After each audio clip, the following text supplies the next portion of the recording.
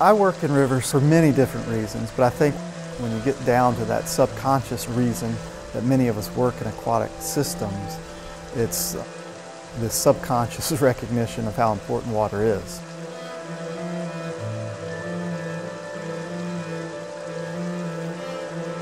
Brook trout, which for many, you know, is a symbol of, of clean water, and not just clean water, but you know, the cleanest of clean water.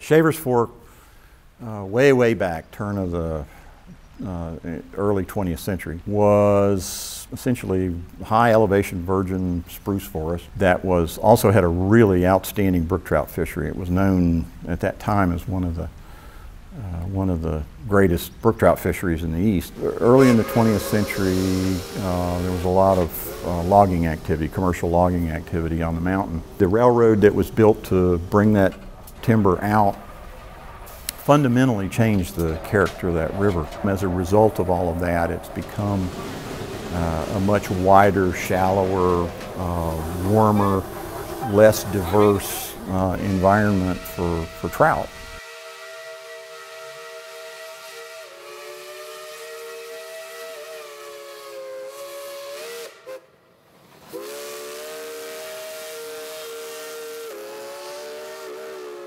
Wildlife Associated Recreation in West Virginia is about a billion and a half dollars a year. If you tease the fishing part out, sort of apportion that across all the miles of, of fishable streams that we have here in West Virginia, you end up with a value uh, of about $40,000 a mile. It can be much higher than that if the trout stream is even better than average.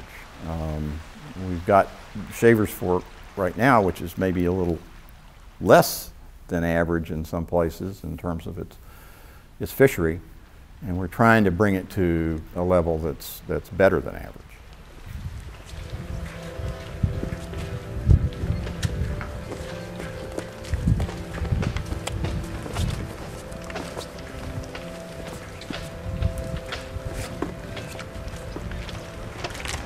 Much of our research over the last 10 years or so has been uh, trying to, to not only document the, the factors that are uh, contributing to brook trout declines, but also rank them in order. So once we identified the problem and, and identified these limiting factors, uh, the, the key limiting factors that have not been addressed or had not been addressed at the time uh, was, what, was water temperature. Oh, yeah.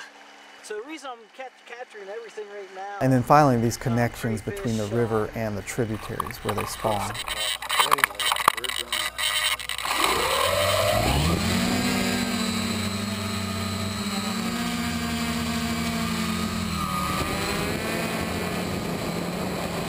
Quantifying temperature patterns in rivers can be very difficult. The advent of the use of drone technology is really interesting in this regard because you can have these drones that fly um, thermal imaging cameras.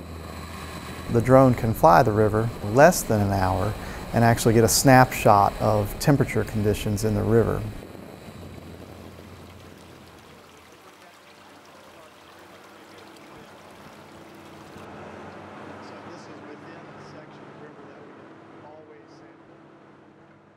A question that should be asked and is asked of, of any researcher is, is you know, what is the relevance of your research? You know, from that regard, this particular effort in Shavers Fork, I think, is, is relevant because it becomes this model system in which we look at and say, well, if we can apply these principles, if we can apply these approaches, that we can replicate this effort.